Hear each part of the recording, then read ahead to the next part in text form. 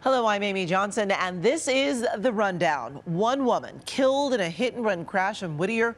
Officers say the woman and her son were crossing the street when they were struck by the car with no headlights on. Sadly, the woman died at the scene and the man was rushed to the hospital. The driver took off and still hasn't been found.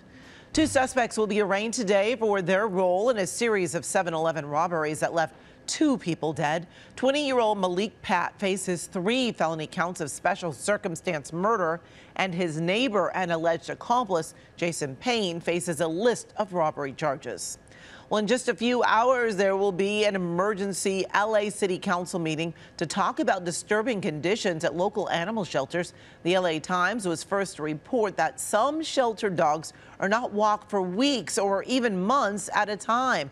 We'll have an update on the meeting and the overcrowding issue later today.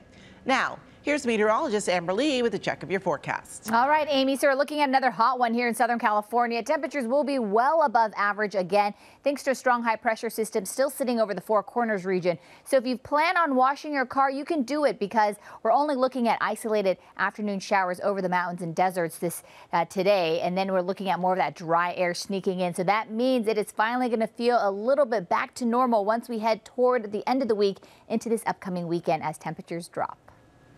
And remember, we're always streaming on CBS News Los Angeles, and you can watch anytime on our free CBS News app and Pluto TV. I'm Amy Johnson.